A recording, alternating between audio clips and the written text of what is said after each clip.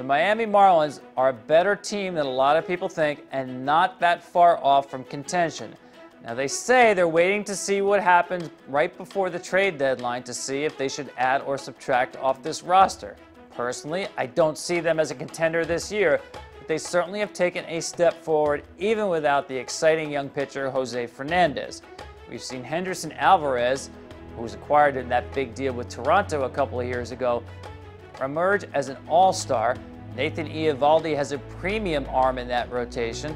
And we've seen some of the younger pitchers come up from the minor leagues and also flash real power stuff.